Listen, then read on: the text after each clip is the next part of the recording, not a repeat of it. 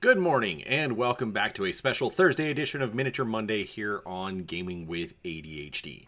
Today we are going to take a look at the Clan Heavy Battlestar for Battletech from Catalyst Game Labs. Now, if you've watched any of my previous unboxing videos, you know that I am a big fan of the Technical Readout series of supplements.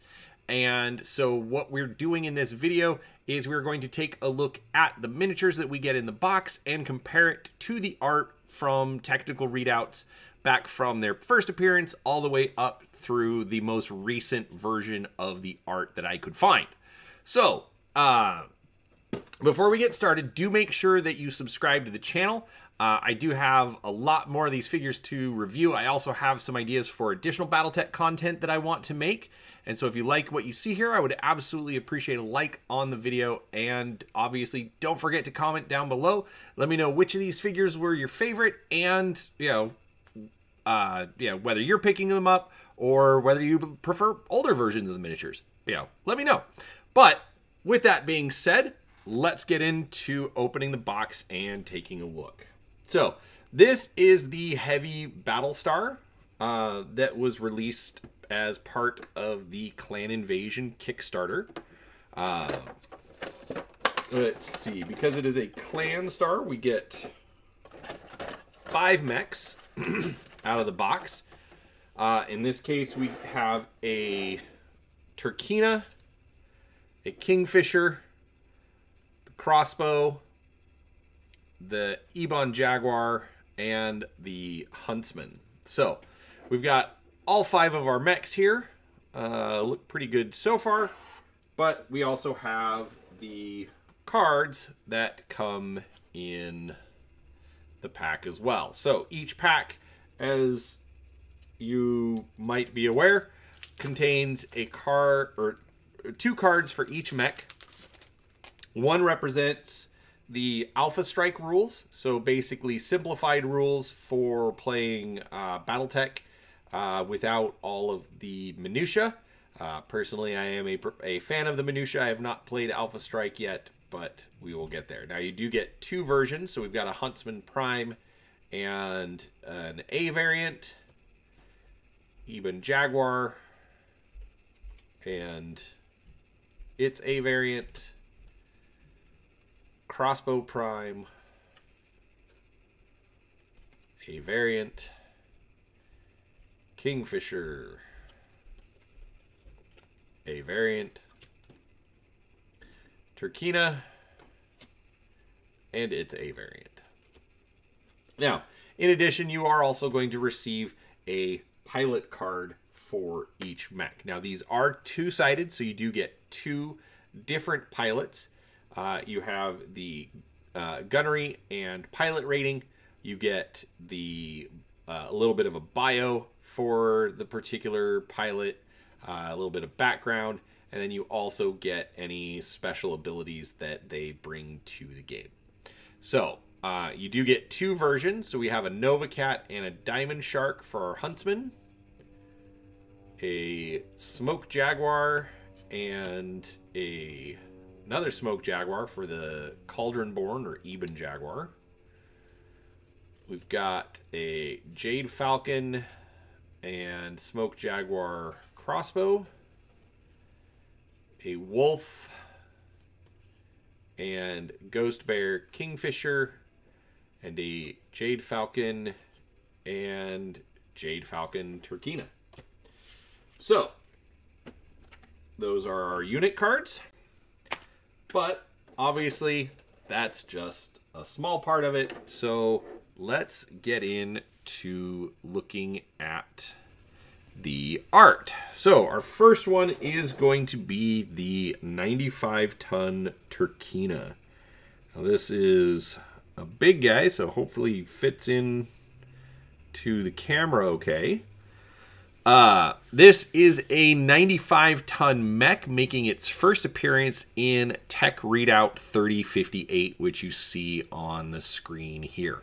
So, uh, a little bit of an odd design. The the the legs and waist here. I mean, not quite sure what's coming down between the legs there, but interesting none the least. Um, looks a little off. Uh, sort of has kind of a Robbie the Robot looking feel to me um, because of these uh, the the squishy tube arms, for lack of a better way to put it. But this is the only other piece of art that I did find for it um, that I wanted or that seemed to come from a tech readout or a source book. Um, and this is our ilClan version. This one I actually, uh, you know, like if you've watched any of my previous videos, I'm I'm actually a big fan of the new art, even though I have been a, a fan of BattleTech for decades now. Uh, I do like the direction that they are taking the design. Uh, I, I like that they've got they've gotten away from sort of the hose looking uh, design for the arms. Um, I think they actually did pretty well on the uh, on the sculpt itself to make it actually look, uh, you know, very much like the art. Um, you know, it's a it's a solid sculpt. It is a big piece of plastic, so uh, it definitely it definitely conveys that 95 ton feel uh, that the mech is supposed to show off. So, our next mech is the Kingfisher. This is a 90 ton mech originally appearing in the Black Thorns scenario pack. So, this is our original piece of art. Very simple, very blocky. Um, you know, not too bad. I'm not a fan of the feet here. Um, I, they just while they look like they're they're providing a nice stable platform, um, it's also kind of odd because it's putting all of the all of the weight across the the the back of the foot. So I have a feeling if this guy got hit uh, just right, he would fall over like it's nobody's business. But we then have this version, which was Tech Readout 3058 is when we got this one. So still keeping the design, but definitely looks a little bit better as far as how the feet are uh, are positioned and how the legs uh, are over top of it. Uh, although uh, not quite sure how it bends at the knee there. Yeah, it's a bit bulky. But we then get this one. This is our current ilClan. Uh, we've got a little elemental down here by his foot. Uh, definitely, definitely a much better design. Uh, yeah, the the cockpit, the cockpit seems a little low. I wish it was a bit higher up on the mech. You know, kind of where these sensors are uh, at the top. Uh, but overall, it looks good. Uh, it looks like it's going to take a hit pretty well. So that is our Kingfisher. All right. Next up at 65 tons, we have the uh, the crossbow, which Oh, yeah. They labeled the packaging a little strange. Unless that's supposed to be an R. Anyways, um, all right, so the crossbow makes its first appearance in Bloodright, which is a MechWarrior RPG adventure about hunting down inner sphere remnants of a uh, a blood named warrior from Clan Wolverine, and the uh, the desire to for or to establish a blood right and a blood house in uh, I believe it is uh, now I don't remember, but I want to find it. Uh, I want to say it's Steel Viper. Yeah, Steel Viper are trying to establish a Bloodright house by eliminating these uh, these descendants. Now, this is uh, the first appearance, so it's a good piece of art. Really dark, uh, doesn't let you see it very well, but you know, definitely gives that feel of you've got a whole lot of weapons in the arms, uh, you know, and you know, pretty much nothing else. Uh, lots of armor, not a lot of seams on it uh, in this version. But then we go to this version, which we see in Invading Clans. Now, as uh, mentioned in other videos, Invading Clans was one of the first uh, clan source books. Uh, they did Ch- Clan Wolf, Clan Jade Falcon, and then for the remaining clans that invaded the Inner Sphere, they did one book and just stuck just shorter segments for all of them, but did give a couple of mechs for each one. And this is the uh, the version of the crossbow we got in that book. And then in the 3058 upgrade, I believe it is. Um, yes, 3058 upgrade, we get this version.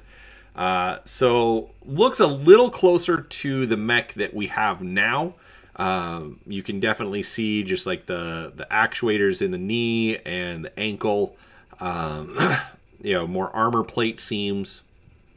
Uh, you know the you know missile machine guns whatnot in uh, in the in the hands, and then that takes us to this version that we get from ilClan Volume 17, the ilClan Recognition Guide, uh, which you know gives us the art for the miniature, and uh, I think they did really well at translating this piece of art into a miniature.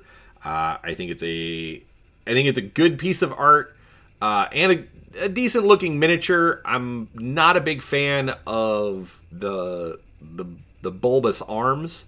Uh, but you know, it's it's a pro it's an LRM rack of now I'm trying to count 3 6 9 12 yeah it's about an LRM 20 rack in each hand it looks like um,